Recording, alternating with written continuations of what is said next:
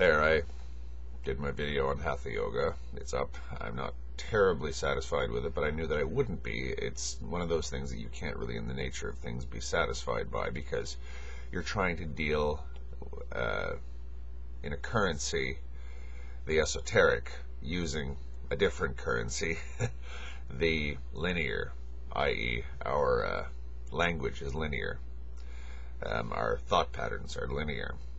Um, the way that I'm approaching this whole thing is not linear. It's immediate. It's direct. It's experiential.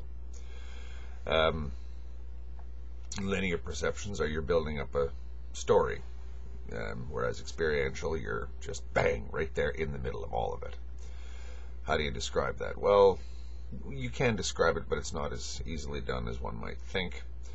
Um, it gets described all the time. Whether or not it gets described accurately is a completely different matter whenever you listen to a piece of music, you're listening to something experiential, something that is meant to directly act upon you. The only thing is, it's kind of a shotgun blast. It's not precise. You don't really know what effect something is going to have on somebody. But I would say that we don't really know the effect that things are going to have on us, even when we say something, because as you discover at this level, language is very imprecise. And uh, all that you're left with when you try to describe things that are experiential, you're left with just a bunch of weird metaphors that may work and may not work for somebody else. Um, it's just uh, you have to deal in metaphors.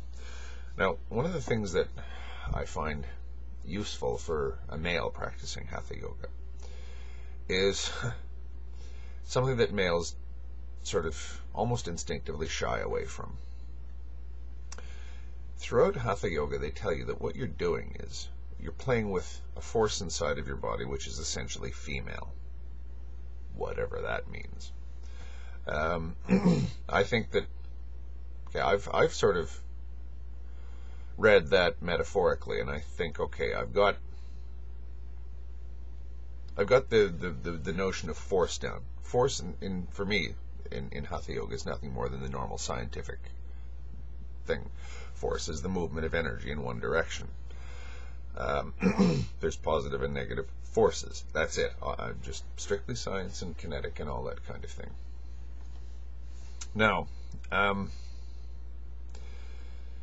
force that is ultimately female, what does that mean when you're discussing um, Hatha Yoga? What does it mean when it tells you you have to um, you have to awaken something inside of yourself that is essentially feminine.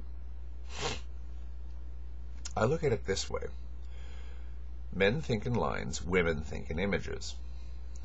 Um, women are masters at talking about their feelings, which, of course, in many ways is why men sort of say women are masters at talking in riddles.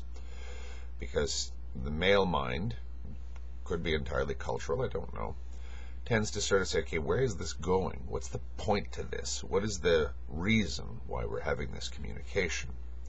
Whereas the female is, I want to explain to you an experience that I'm having. Um, that's, you know, the corny stuff right out of men are from, from Mars, women are from Venus, or the other way around, or whatever.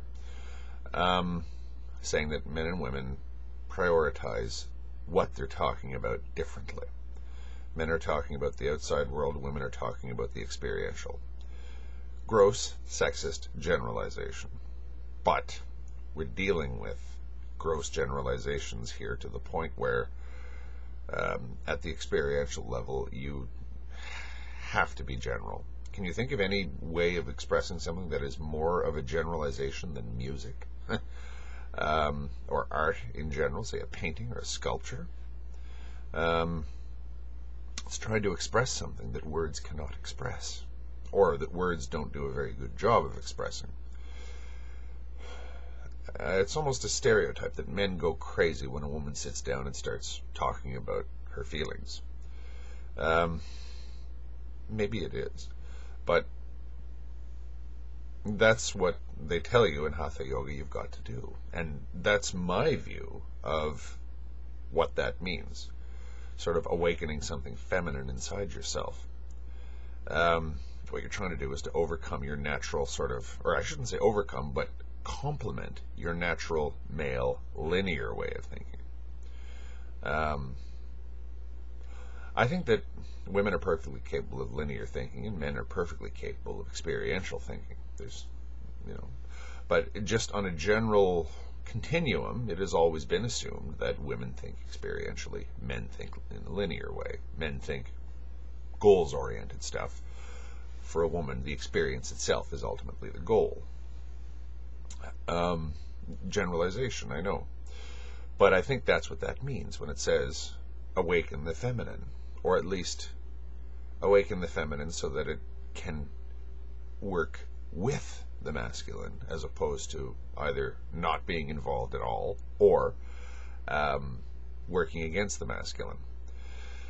Again, we're just talking about positive and negative here. Positive means you're going somewhere, negative means, I guess, that you're not. You are where you want to be, right? You're at the uh, default position, and the default position is exactly where you want to be. Whereas if you're goals oriented, you're never quite at your position. Thus is the traditional stereotypical tension between male and female thinking.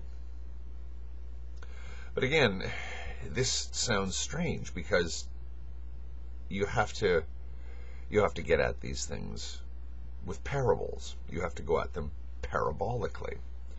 Um, I use that metaphor of spinning plates or poles balancing on each other to show just how precarious it is to try and manipulate your your body from the inside.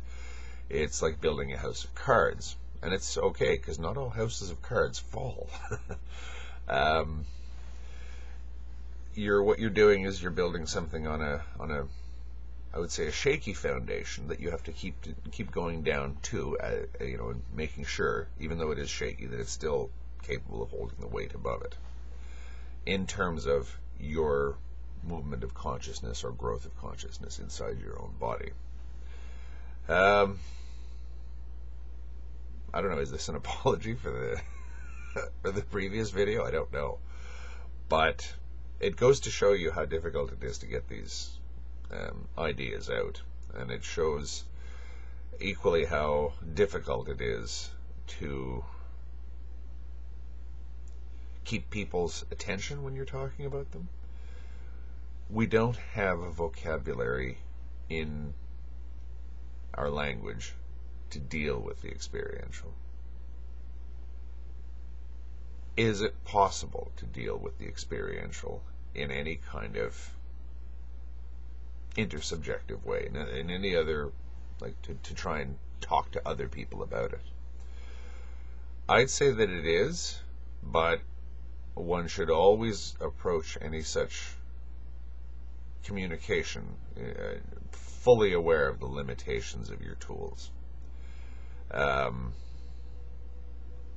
again, this is one of those points of view or one of those areas where if, if, if you really want to attack an idea, this one's bloody easy to attack, at least in a certain way. You can't attack anything experientially, but um, if you want to sort of make fun of people and say, you know, you never, you whatever crazy road you're going down, have fun. This is the one to to attack that way. Um, I don't care really. um, I don't care if people sort of, you know, don't get what I'm talking about here. Um, as I say, I'm I, I went into this with an uncharacteristic degree of humility. Uncharacteristic of me, I guess. Um, I may keep at it. It's been enormous fun, but again, it you you start to get yeah. Have I completely lost everybody at this point? um, we'll see.